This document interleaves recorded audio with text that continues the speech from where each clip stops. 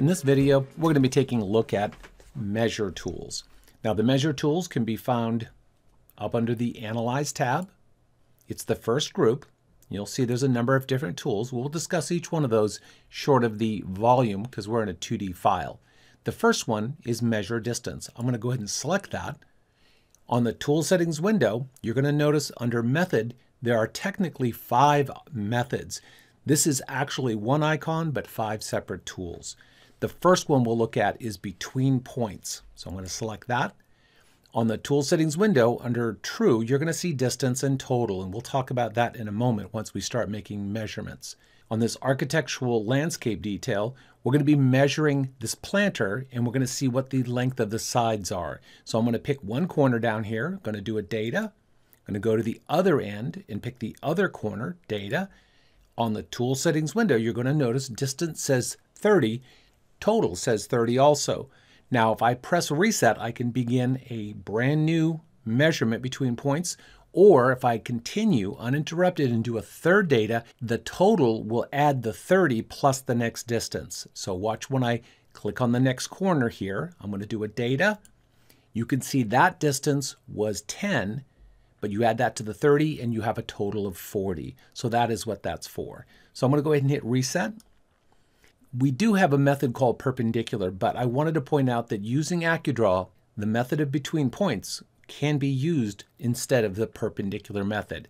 So let's say I'm going to measure a distance from this point here, and I want to see what the perpendicular distance is to the outer edge of this column. Now, as I move my cursor here, you can see it just jumps right to it. But if I move my cursor out to the left, and on my keyboard I hit enter, this is the AccuDraw Smart Lock. Now I'm locked on this axis. Now I can move my cursor up to this point and you're going to see that it's perpendicular. So when I do a data, there is the perpendicular distance. And that can be done with between points using AccuDraw. Wanted to point that out. Now the next method we're going to look at is going to be along element. This can be used along any linear or radial element. And we're going to be using along these arcs here. So let's say this arc, I want to measure the length along the arc between the start point here and where it intersects this dashed line. So I'm going to move my cursor down here. I'm going to data on the end of the arc. You can see a thick line appear. This is the along part. I'm going to come up to the intersection where the dashed line meets the arc, and I'm going to do a data. And on the tool settings window, you can see there's the distance along the arc. So I'm going to hit reset a couple of times, clear that out. So the next example, we're going to measure along this arc, but we want to measure from the intersection of this dashed line along the arc to the intersection of this dashed line along the arc. I'm going to show you a little trick here. What I'm going to do is move my cursor along the line, and that's not the element I want to measure along, but it is intersecting the element I do want to measure along. So as I'm, my cursor's right there, I'm going to do a data. Now you can see it highlights the dashed line. To cycle through the next element available, I hit reset. And you can see now it's highlighting the arc. Nice little trick. So now I'm going to slide along the arc till we get to the next dash line intersecting. I'm going to do a data, and there's my distance, 50.619 feet. This work on linear elements just as nicely as it works on the arcs. So I'm going to hit reset. In this next example, when we're looking at the method of perpendicular, it has a checkbox called segment only. I'm going to uncheck this initially. Now let's say again I want to measure from the edge of the planter perpendicular out to the edge of this column. So if I pick this element here on that segment, you can see as I move my cursor out, you'll see a yellow line that's perpendicular. Now I didn't check segment only. So as I move my cursor around the corner, you'll see it becomes perpendicular to the next segment of that shape. And you can see I can move it around. Now, if I wanted it to remain perpendicular to that segment, then on the Tool Settings window, I would check Segment Only.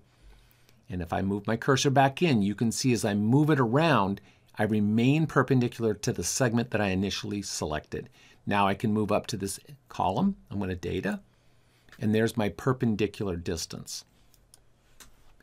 Next method, we're going to be looking at minimum. So let's say again in this detail here, we have our wall and we also have our planter. And we need to make sure that we have minimum distances between there for maybe maintenance vehicles, things like that. So I'm going to go ahead and pick this edge of the planter shape, and then I'm going to pick this line up above, and then you can see it shows me the minimum distance between those two. I can again select this line here in this side, and it'll show me that. And I can also select the arc and select one segment of the shape, and you can see there's my minimum distance there. So that's minimum between, very handy tool for figuring out and maintaining clearances. So I'll hit reset. The last method is going to be maximum between. Now this one, there's not a lot of case uses, but it finds the two farthest points on an element. So let's say I pick this outer edge of the column, and then I pick this next element out here, and I data, and you can see it shows me the two points which are farthest apart. I'm not sure why we'd want to know that, but there's probably a case use you can think of out there. So I'm going to hit reset. There's that maximum distance between. Instead of going back up to the ribbon to access these tools, they're also located on the pop-up menu. So on my keyboard, if I hit the space bar, on the third row, the very first icon is the Measure Tools. It's the Measure group. And if I click on that icon, you're going to see there are the Measure tools. And the next tool we're going to look at is Measure Radius. So I'm going to select that. I'm going to pan on up so we can see some radial elements. And I'm going to just data, left click on this arc, and then on the tool settings window, you can see there's a primary radius and there's a primary diameter. You can continue to data on arcs or radial elements, that could be circles or arcs, and it will tell you the primary radius and the primary diameter. So we're going to go to the next measure tool. So I'm going to hit spacebar, third row, first icon. We're going to look at measure angle. Now to illustrate this, I've drawn some elements off to the side, so I'm going to go ahead and pan over and zoom in. And I'm hoping this will illustrate how this tool works a little better. So I'm going to go ahead and pick this element, this line, and you're going to see a green arrow appear on that. Now that's going to come into play when I do the next element. So I'm going to pick this next line, and you're going to see there's a red arrow. Now, if you look at the tool settings window, it's telling me my angle is 45 degrees. The arrows are indicating which angle it's measuring. Now, you notice there's 135 degrees over here. Well, how do I see that? I would click on either one of the two arrows. I would just left click on the arrow, and you can see it reflects the other angle, the other direction. So that's the measure angle between lines tool. So I'm going to zoom back out, come back over here. The next tool we're going to look at, I'm going to hit the space bar, to go to measure, and the next one's going to be measure length. Now for this one, I'm going to turn on a level for some irrigation lines. So I'm going to open up my level display. The shortcut is Control E, and there's a level here for supply line. I'm going to turn that on, and then I'm going to go ahead and close the level display. Now these are separate lines and I created them as that just to help illustrate how this tool works. If I click on this one element right here, one left click or data, you're going to see on the tool settings window gives me a length and a direction. My length is 106 feet. If I click on this next element, you can see it shows me my length is 20 feet and my direction is 45 degrees in a few seconds. I need to get total linear length. I don't want to sit here and click on these elements one at a time. This tool, Measure Length, does support a selection set. So I'm going to hit my spacebar. I'm going to go to Element Selection. I'm going to select all of those lines using Element Selection.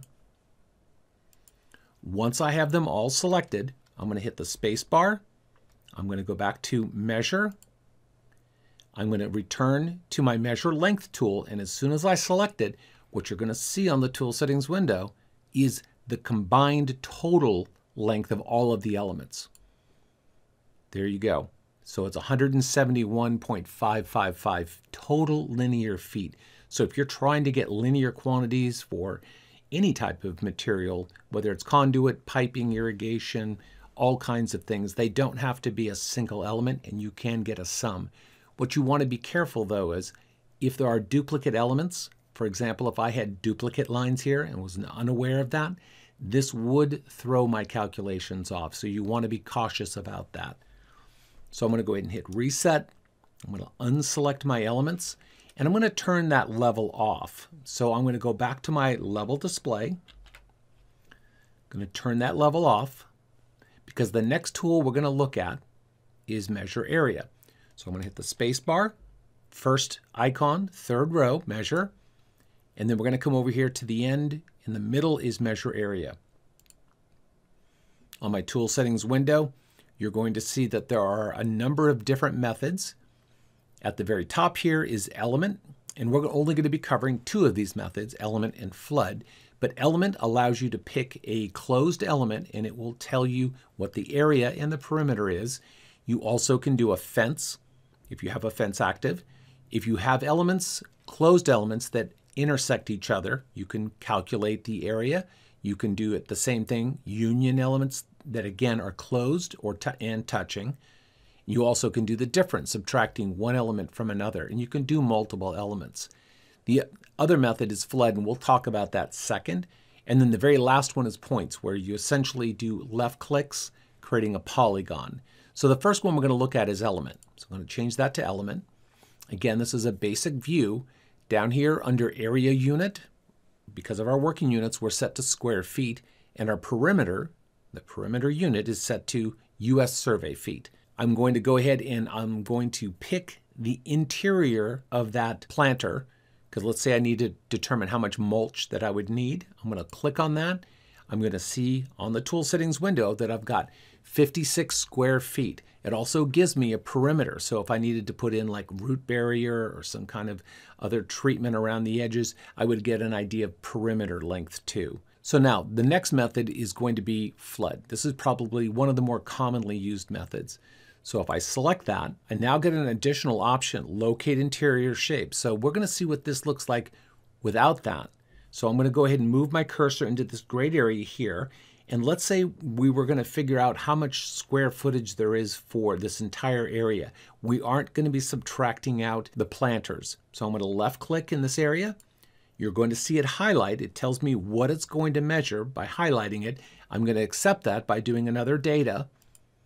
On the tool settings window, we see the area is 13,519 square feet and some change. We also see a perimeter there, 542 feet and change. Now, let's say we needed to calculate this for another material, let's say pavers or something else, and we wanted to be more accurate about this. This time we're going to tell it to locate the interior shapes. So on the Tool Settings window, I'm going to check Locate Interior Shapes, going to repeat the same process, move into the grid area, and I'm going to data, left click, and what you'll see is it highlights that same interior area, but it's excluding the planters. There's two planters in there. So now if I data to accept, my area is now less. It's 12,919 square feet and some change. And also my perimeter has changed because it's increased because I have more perimeter area. Now there was another method for measuring multiple elements and we're going to need to change our method from flood back to element. And just as we did with the measure length tool where we used element selection and we selected multiple elements, we're going to see that we can select multiple shapes and then we can get an area calculation. So I'm going to be using element selection and I'm going to be selecting this interior planter shape. I'm going to select that interior planter shape there. I'm going to go to my measure area tool. I'm going to hit spacebar, first icon, third row.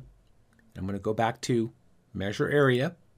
And because I had it set to element, you're going to see it automatically recognized it and it said 312 square feet. So that is the total of those two elements if you didn't want to be selecting the shapes one at a time to calculate area for mulch or something else like that. You can just select them all, go to measure area, make sure the method is set to element, not flood, and then it'll give you the area. And in this case, perimeter doesn't apply because these elements aren't connected together.